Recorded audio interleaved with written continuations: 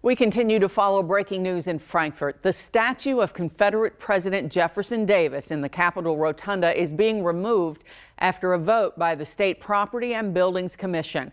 LEX 18's Eleanor Buckley is live at the Capitol where crews have already begun the removal process.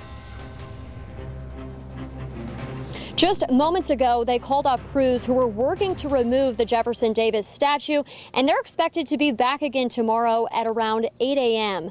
At 1 o'clock today, after a vote, it was decided to remove the Jefferson Davis statue from the rotunda. And now, as you can see, just hours later, crews are already working to get it out of the Capitol.